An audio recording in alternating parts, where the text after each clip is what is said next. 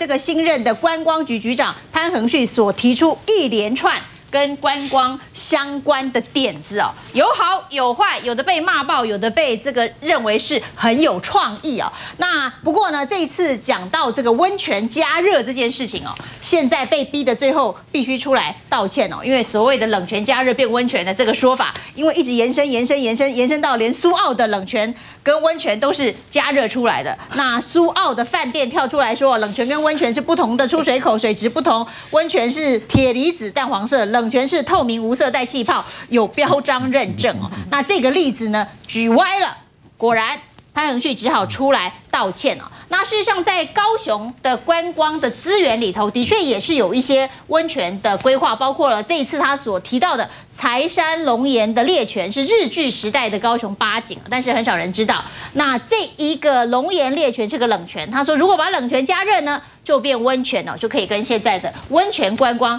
结合。那有人说，这一个财山的龙烈泉到底能不能够加热？它其实最大的问题，它的水量不足，倒不是冷泉是不是能够加到温泉的问题，是没有那么多水。然后呢，潘仁旭说，那像高雄田寮的花季作为冷热泉的饭店呢，它中年是二十二度的冷泉，但是呢，也因为加热变成温泉，所以。冬天也有观光的价值啊，所以高雄人都知道，的确田寮的这一个温泉，好像过去的市长陈菊还蛮喜欢的，所以常常去田寮的花季。这里泡温泉哦，所以它冬天是有热的泉水没有错。但是呢，所谓它是不是冷泉加热变成的温泉呢？田寮花季饭店也说，他们的冷泉呢是二十二度的冷泉，但是它加热的方法不一样哦，不是一般的加热，是用蒸汽加热到五十度左右变成热泉，所以呢，它不叫温泉。冷泉加热不叫温泉，冷泉加热之后叫热泉。其实温泉也是一个有专门知识的一个行业哦。那除了这个温泉的争议之外呢？之前潘仁旭在跨年的时候说呢，宝可梦二零一九的高雄灯会可能可以来，跟之前的嘉义灯会一样。但是呢，宝可梦能不能够来这件事情是有商业操作机制的，所以二月真的能来吗？这张支票会不会跳票？还有这一个灯会，高雄灯会的主题哦，过去叫做水当当哦，现在被改成金银河，那代表天上有银河，人间有爱河。好，这是一个新的观光局长的创意。那压轴秀又白冰冰来策划。那当然，白冰冰的这个观光代言人。的争议，从一月代言人这个事情就已经引发很大的争议了。不过看起来，白冰冰的观光代言在一月份、二月份在灯会上面，还有所谓的蓝宝石喜相逢歌厅秀的复制。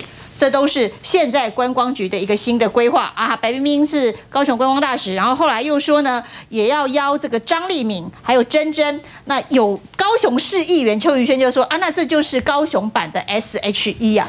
那国民党的发言人洪孟凯，我觉得大家对于这些创意的点子都有很多加油添醋的意见。洪孟凯就说呢，那白冰冰呢，可能是三十年前的周子瑜啊。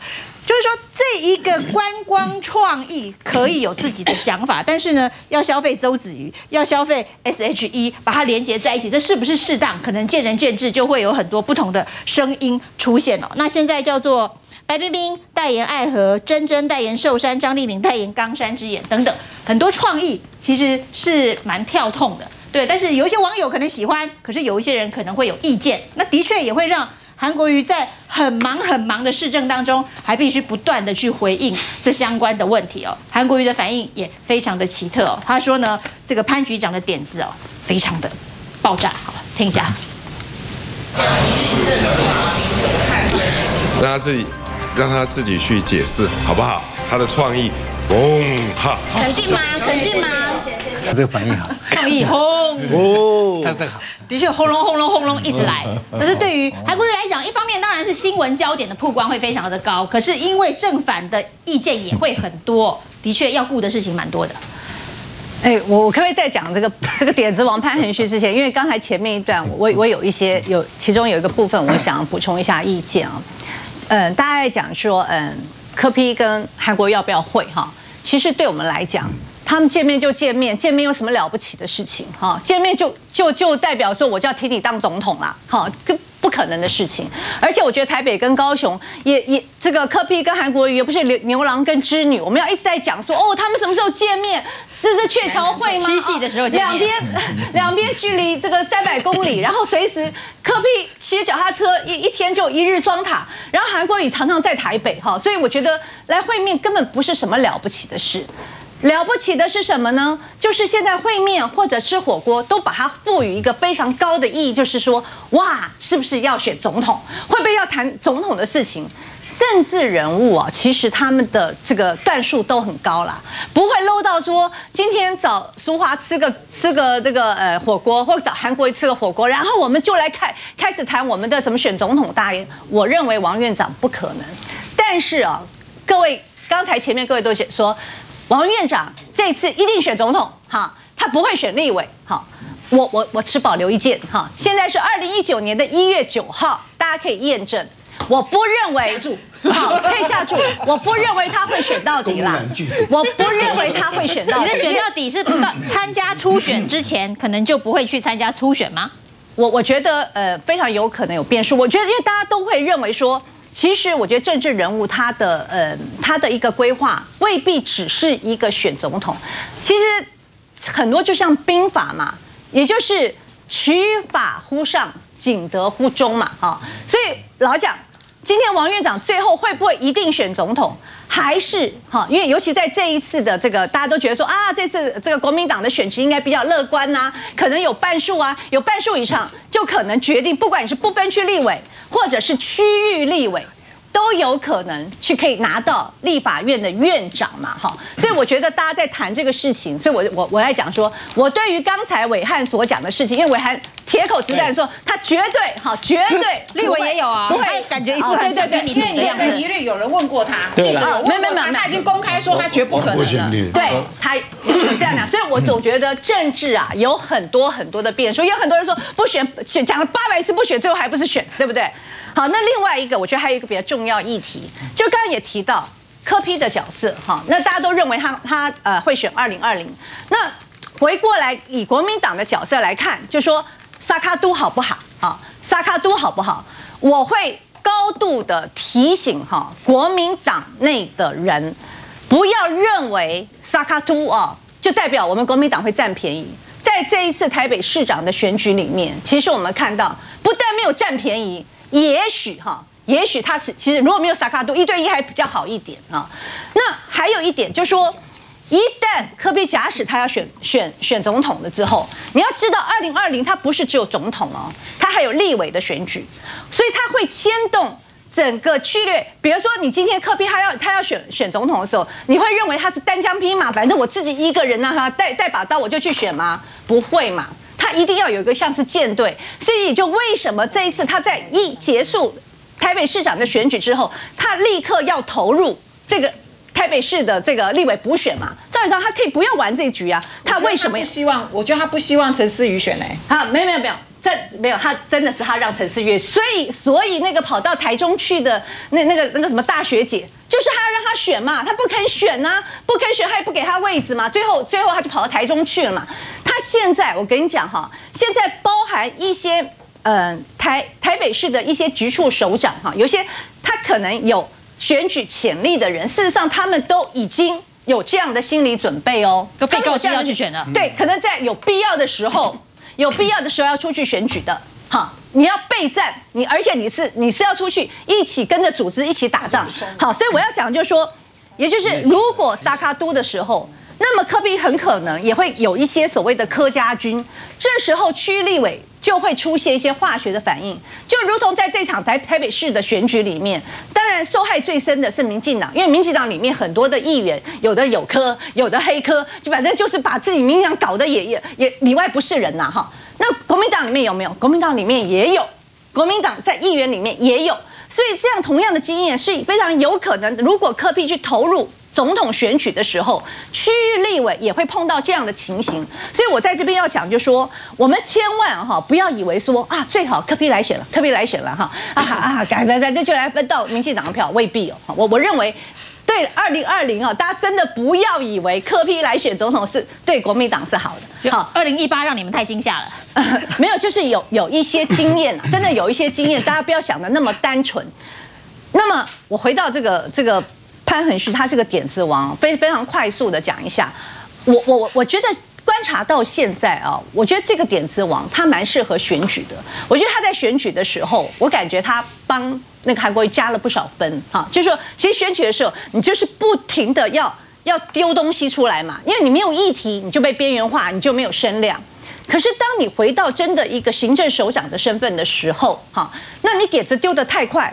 丢到哈，你可能自己都赶不上自己。你你你看刚才刚才韩国瑜的那种 那种反应，就是代表市长也跟不上，跟不上这个这个官官官船局的局长，我也不晓得该怎么帮你讲了啊。因为因为现在可能丢出来一些东西，包含一些代言人啊，那这代言人他又搞了很多的什么凤飞飞日啊、余光中日啊，那其实其中有一些都会嗯。当然，我相我相信他都是希望能够帮高雄的观光啊、旅游啊，或一些声量能够加分。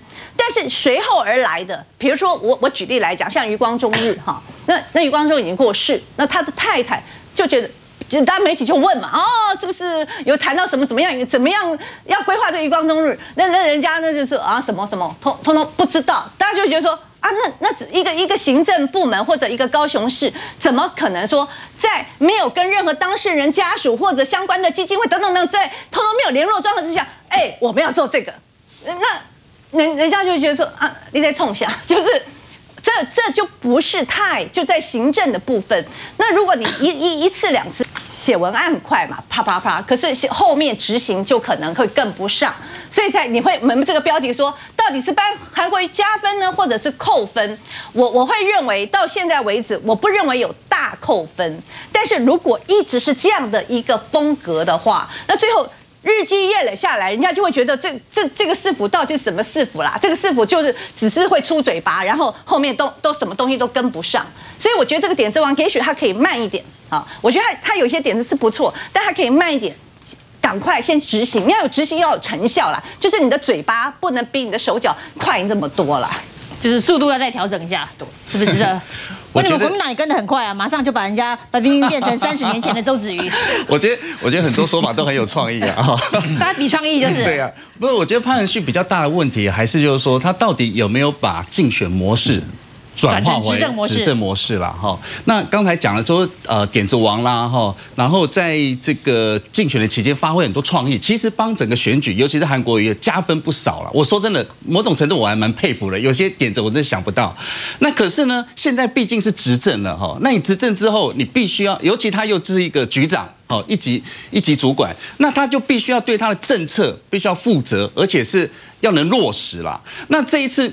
这一次就是说这个温泉哈的的，我坦坦白讲是有点粗暴了哈。我觉得这个这个潘恒旭还是太抢戏一点了，我觉得哈，我他要帮高雄行销观光这一点我可以理解，可是有时候话可能说的太早或太满，尤其这一次他这个说所谓的冷泉加热以后就变成温泉了哈。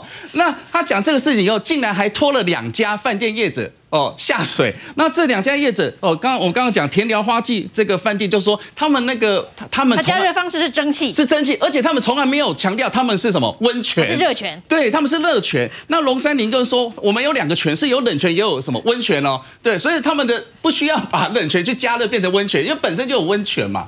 那当然了，我觉得这是一个小的错误啦。可是刚刚也如如同洪薇姐讲的，就是说从不管是从这个温泉的事情哈，那之前还有所谓的凤飞飞哈代言，人家觉得说凤飞飞跟高雄那个关联性不高嘛，然后要找余光中，人家余光中的家属说好像也没有来谈过哈，然后等宝可梦哈，甚至要找那个阿诺是吧？那个来高雄，就是说这个不断不断的在开支票，可是这个支票到目前为止是。还没有看到可以落实的啦，我我真的诚心的建议啦，哈，就是说在这个阶段，哈，怎么讲呢？就是说应该要做的比说的多，然后呢，你事实上，哈，尤其在这么短时间内，你能做出一样两样指标性的，这种做嘎婚啊啦，不需要吼，这样我觉得这有点到处在开，也不是战场了吼，到处在在在承诺一些政策吼，我觉得这样反而会失焦哦。那我觉得潘文旭的。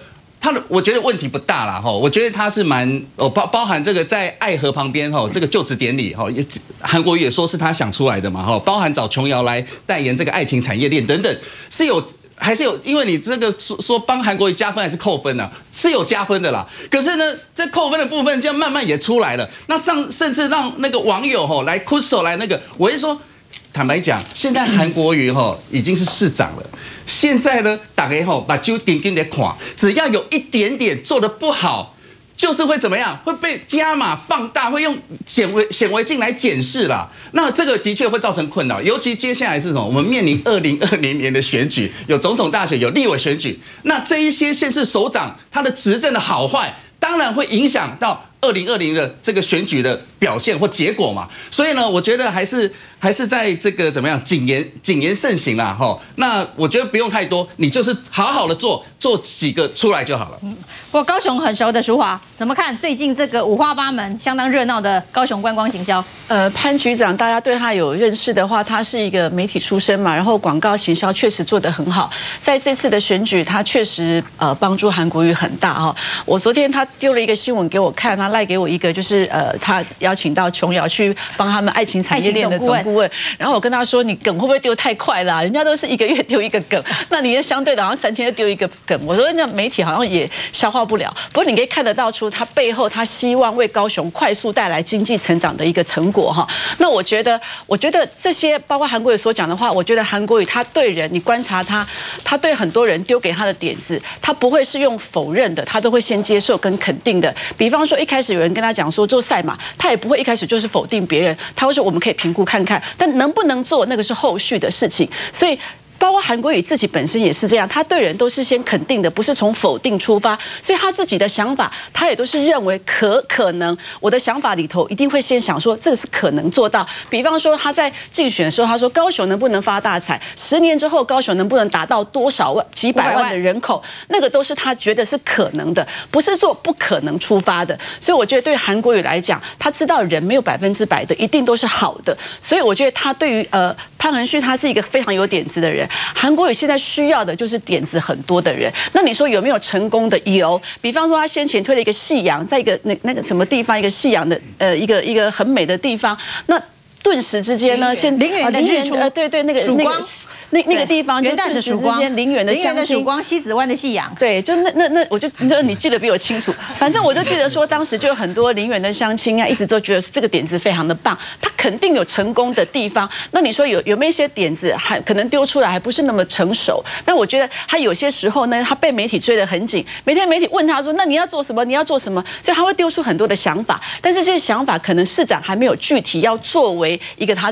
呃，具体的政策，那我觉得在这个部分，我觉得潘局长可以把这个是想法还没有落定的部分先讲清楚。那未来要成为具体，呃，就是要作为政策的部分都可以讲的。比方说阿诺要来，包括邓紫棋要在高雄开演唱会，这个其实都是已经蛮明朗的事情。对，所以我觉得他有时候，我觉得以我，我觉得我这样讲可能呃不是不是，可能伟汉听的不是很高兴。但是相对就是说，你看高雄市每天有这么多的新点子，相较于台北市，台北市有什么议题？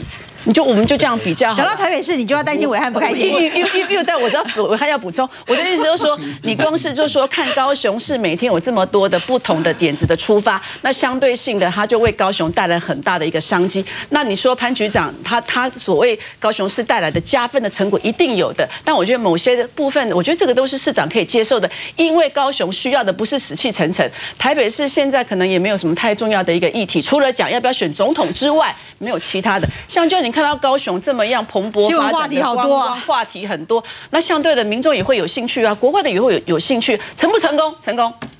韩粉科粉大对决。一下哈，那个淑华说台北怎么样，我都不会不高兴，只要看到淑华我就高兴，对不对？好，重点在于什么？重点在于，虽然大家都说韩国瑜跟这个潘恒旭，其实可能在场我认识潘恒旭时间是最久的，快二十年了。他一开始帮马英九选市长，那我我必须就是在电视，因为我我到现在为止我没有评论过潘仁旭局长，在任何节目都没有。那的确这是第一次喽，对，第一次，的确各界对他褒贬不一，认为他是不是有一点太过跳痛啦，点这种会不会嗨的韩国语？可是从刚刚韩国语受访的那那一刻，我了解一切。哇哦，对不对？大家有没有想过，阿扁八年过程期间，最好的副总统是吕秀莲吗？吕秀莲还跑去嘿嘿嘿什么的，还还还给阿扁。但是这个副总统可以帮阿扁分掉非常多的子弹，这点非常重要。今天潘恒旭的这些意见，我不是说因为他搞了很多的 trouble，所以韩国瑜就不中箭，箭都往潘恒旭身上射，不是只有这个效果而已。我坦白讲，虽然今年的这个呃元宵灯节可能来不及，一旦高雄在任何时间办成了宝可梦活动，我我一定去。我一定去，就是说这个，而且他一定会报到人，会会会你，大家可能没有玩宝可梦不知道哦，会玩宝可梦的人哦，基本上是对对。所以是呼吁潘局长一定要把宝可梦。显然他有接触，他只是还没有成功。然后呢，他的这个呃温泉冷泉的，大家觉得说他对于知识的不足，人都有知识缺口。重点在于观众朋友有没有注意到，韩国瑜在选前的九月都还没有人觉得他还选，大概快十月的时候，大佬已经对不对？已经这个慧眼独具知道了。可是也有一种觉得说韩流就是一个潮啦。选上了以后就结束了，事实上也是哦。各地的选举通常在选完之后就回归平静，也就是各自就回来了。啊，天后去了高雄以后也从此不再去了，应该是这样。可是对不起，我们现在一月九号了还在谈高雄，所以高雄他在这样的创意的结果之下，其实还在被谈论。过去阿扁他在立法院养了三十几个助理，他只有一个交代，天天要帮老板上报纸。啊，坏的怎么办？坏的也没关系，你就是要一直维持。今天这些东西都被讨论，也都被批评，可是至少它是台湾讨论度最高的地方。刚刚淑华讲的，比台北市的讨论度更高。这就是高雄来讲的，现在是非常具要的，非常需要的。因为高雄现在需要人进来，如果你的讨论度一掉，人就进不来。所以我觉得它的每一个，包含冷泉，包含了这个什么呃金银河，呃金，还有包含了那个。高雄币包含了宝可梦，包含了所谓的呃什么高雄 SHE。说实在的，白冰冰这个我也讲过好几次了。白冰冰对于现在年轻人来讲，说怎么跟五月天，怎么跟 SHE 比？那大家有没有想过，最有这个口袋深度可以旅游的，其实是银发族。他们是真的可以一个礼拜就去一次。就坐个高铁，然后就住两天一夜、三天两夜。主要是要打礼拜一到礼拜五的周间观光。好，那每每一个族群都要，所以他也不是说我白冰一次一次就代言四年，别人不能来。他一次可能一个月一个代言，说不定下个月三个代言，那三月的时候可能又又两个又五个。他是一个非常多变的，潘安旭是一个点子王。那因为他的点子跳很快，有时候也冲很快，的确常常会有值得检讨的地方。但是也因为这样，让高雄。变成是一个很活泼而且被讨论的地方。那我知道现在媒体圈也有人在讨论说，会不会他给韩国瑜惹了太多麻烦以后，三个月到了以后就换了一个局长？那就看最后他的加分跟减分扣掉以后还有没有盈余。如果有的话呢，就发给大家嘛。所以基本上就这样的概念。我对潘恒旭，对我对潘恒旭局长就是说，我发现他的点子虽然褒贬不一，可是对此刻的高雄，他是必要的。就是高雄的冷靠他一直不断的加热，就是冷泉也加成温泉了哈。不让我讲潘虹旭啊，我们这个议题没有办法有一个完美的句点。为什为什么你知道吗？潘虹旭当过我的助理。哦，嗯，哦，哈，好。不过我先讲刚刚那个场面啊，那个记者招待会，那个韩国瑜说哈，那个哈，我觉得那个是非常好，因为那个哈是是是美，很美。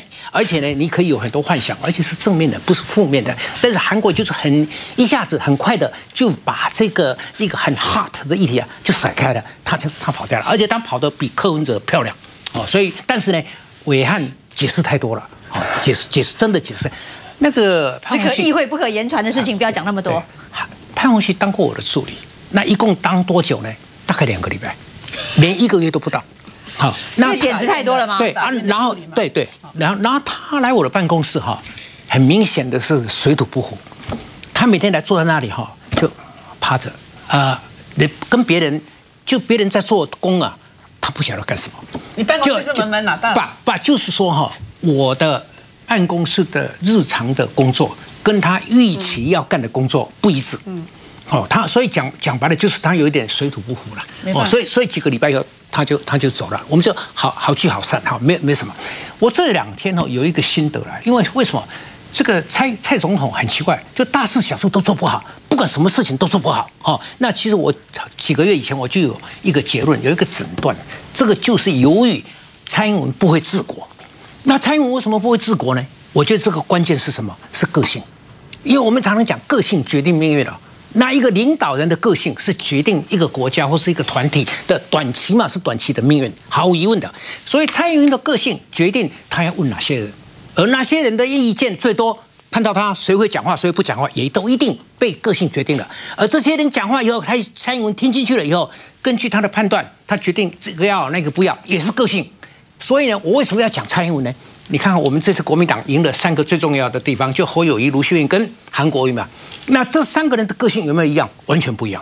那这一个多月来，三个都市的施政风格虽然那么短，你们觉得这三个都市的新政的风格是不是很不一样？很不一样哦，非常不一样。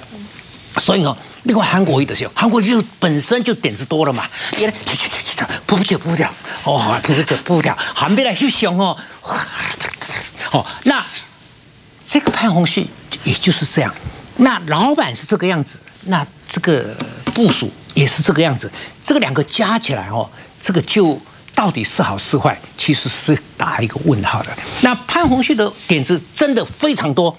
但是呢，是不是每个点子都可行？好，那其实他当他他在选前，他就他就是帮韩国瑜了。哈，我跟他其实也吃过饭。那我那个时候就是韩国瑜发表，我就觉得他一定入阁入小内阁，但是会是当什么，我也没有想到会是官船局。但是哦，我真的是替他替韩国有点担心啊，因为哦，像类似这样的事情，我认为不是这个指责讲的说。竞选模式要成功转化为施政模式，我这个跟模式无关了，这个就是跟他的性格、性格、个性有关，跟心态无关，跟性格有关。他这个性格啊，就是不管跟哪一个老板，他老板很多，他换的位置很多，他做过的工作很多哦，什么番薯藤啊，什么霹雳啊，一大堆。那我认为他不管到哪一个地方啊，他工作的方式，他想到的点子，他出的主意，我觉得都不会变，因为一个人到了这个年龄。不会变了，我更不会变了哦。所以呢，所以我觉得这个韩国一定有空的时候会想，当然以观后效了哦。但是这个到底是加成的正面效果还是出了毛病多大，让韩国也受不了，这个我们以后就等着看。